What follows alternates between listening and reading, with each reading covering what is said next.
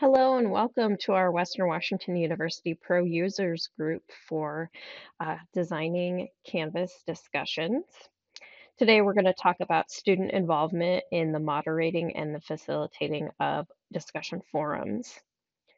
Again, this is your support team. I'm Lauren Nicandri. I'm an educational technologist for Outreach and Continuing Education, and feel free to reach out to any of us with questions on our videos that we've provided for you during this time where we are moving to online instruction in the interim.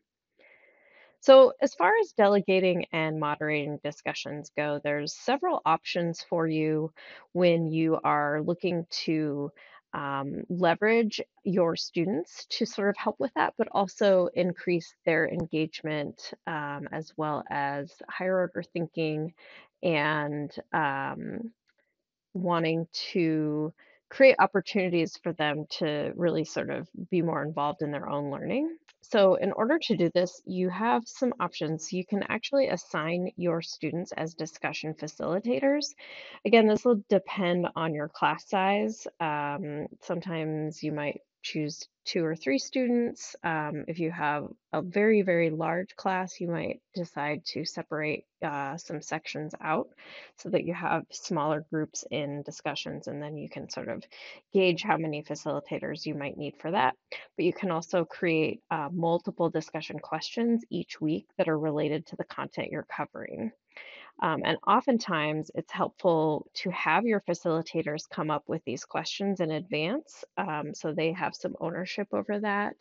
Um, and you could have them submit them to you the week before that they're supposed to facilitate, for instance, and you can sort of go over those and vet them or give any feedback you might have or suggestions prior to the actual week that they'll be facilitating.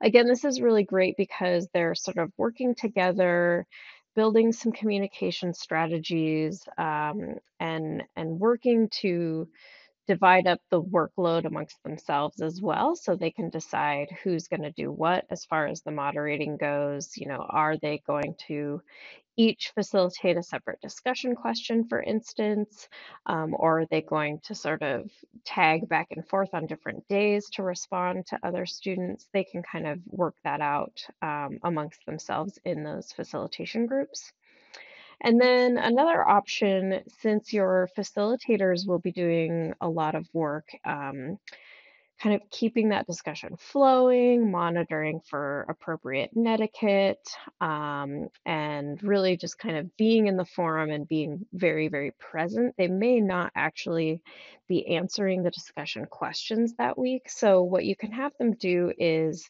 uh, sort of evaluate their own experience and assess that um, and give feedback and reflection on what it was like to be a facilitator and what they learned from that process and from their peers.